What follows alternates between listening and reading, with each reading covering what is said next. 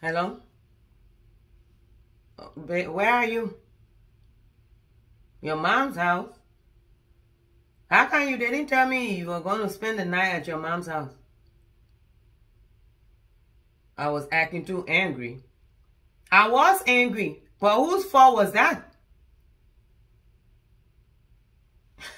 I need to learn to, I need to learn to uh, uh, control my anger. Did I wake up angry yesterday? Or you the one that made me angry? No, no, no, no. You're not making any sense. You made me angry, and then instead of coming to solve that problem to help me to calm down, you decide to stay away and sleep at your mom's house. So, as you find somewhere to sleep to, whenever you piss me off, as you find somewhere to sleep to.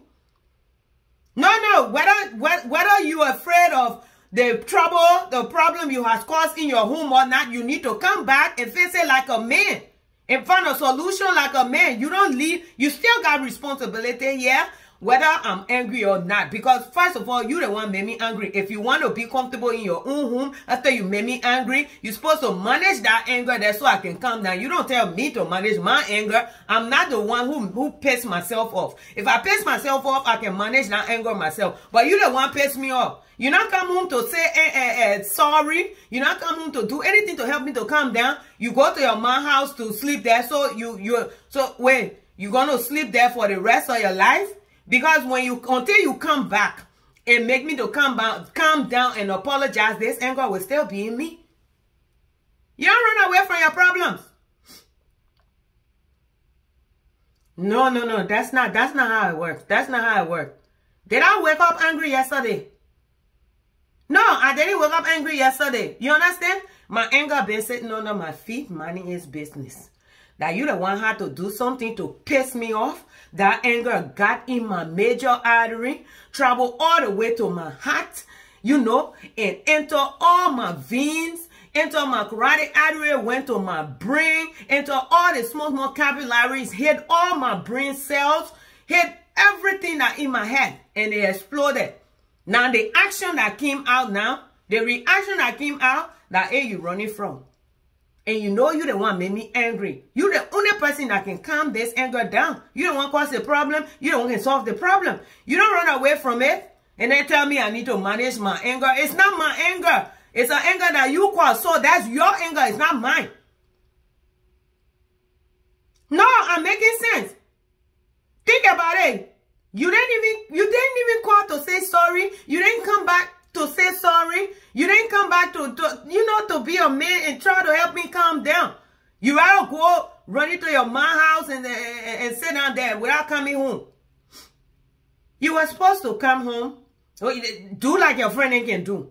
Go buy something special with a bouquet of rose, bring it along with some of my favorite food from Applebee's. You bring it and say sorry, hold me, feed me with the food, kiss me as you feed me, massage me from my head to my toes to calm me down, take me downtown, you know, let me eat for the second time, take me on the canal, let's go for a boat ride. After that, you know, book an expensive hotel downtown.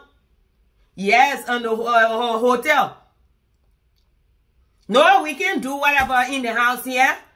You piss me off in this house. So in these walls, I get reminded of what you did to me. So if you take me downtown in the most expensive hotel, um, look, it's going to help me to relax. Nothing will remind me or going to help me to relax. I'm just going to get over it, forgive you, and act like you didn't do anything. So I'm telling you, look, listen, I'm telling you how to calm me down.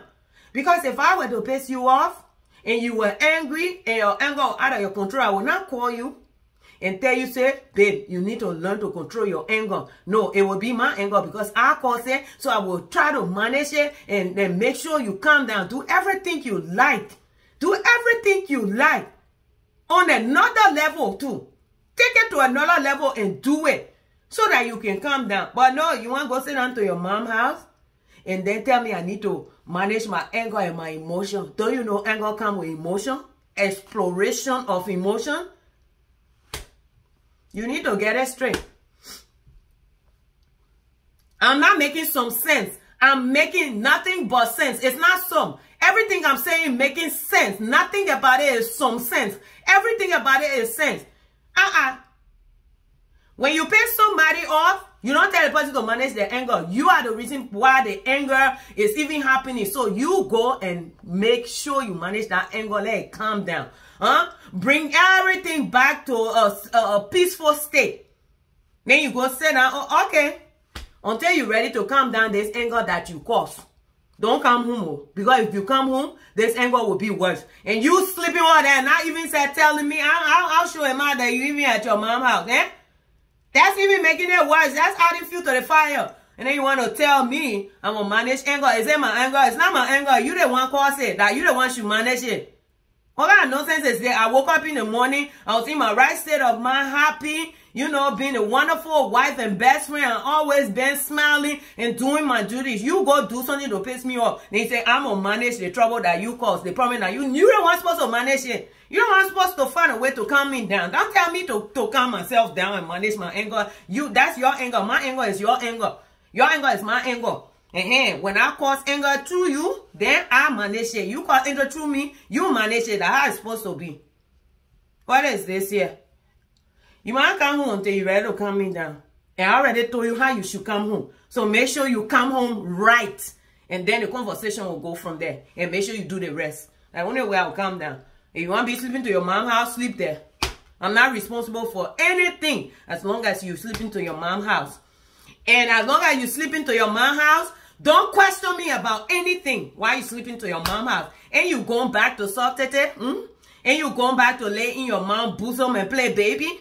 And you going back so your mom can put diaper on you, take care of you, and, and, and be as uh, responsible for your well-being, your emotional, everything, uh, sex, everything. Wait, you. Mm.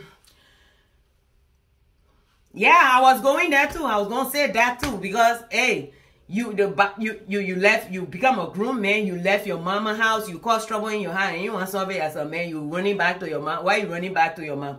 Why you running back to your mom? You are grown. You shouldn't be running back to your mom. You should stay here. I'm your new mom. I'm your new everything. Okay? I'm your new family. Everything. I'm your new generation. You're supposed to stay here. But you can stay, you, as long as you stay to your mom, I'm not responsible for anything. I'm not going to question you. And don't call me to question me. If you see me anywhere do anything, don't bother me. Yes, that's how it is. To abandon your whole, your household, your family, and everything, your wife. To abandon. And you tell me to manage your problem that you caused instead of you coming to manage it.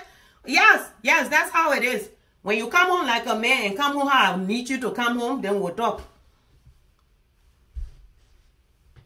Now, I'm not being disrespectful. You the one being disrespectful. What's wrong with you? I'm doing the conversation, man. Yeah. Bye.